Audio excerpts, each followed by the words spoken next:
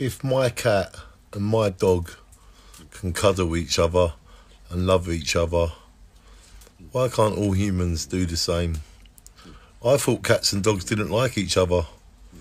Well, they were wrong, because cats and dogs, they love each other, especially when you treat them how you want to be treated. I love all, all creations. Enjoy this moment between a cat called Simba, he's a Mal, he's about three years old, and my boy, French Bulldog Dylan, has just turned two years old. Look how this, look how my cat and dog have become one, and so can all all of us.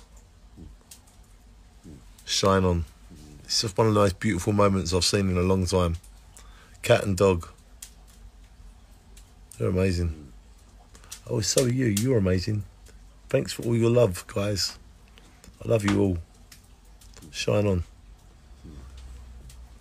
Together we stand. Divided we fall. Cat and dog, they become one. So can me and you. I love you all. Shine on.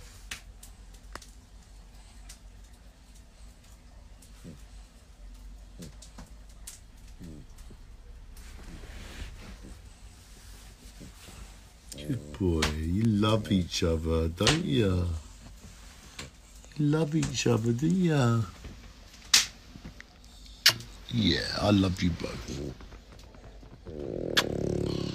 Beautiful animals.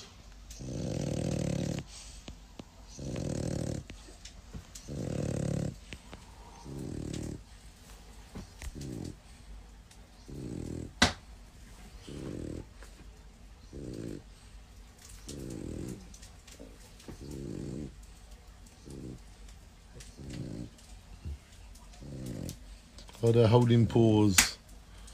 Cat and dog hold paws. Look at that. That's she holding paws. Cat and dog hold paws. Stand back and applause. Oh, look, they're holding paws. They're so sweet. We love you, Simba and Dylan. They're holding paws and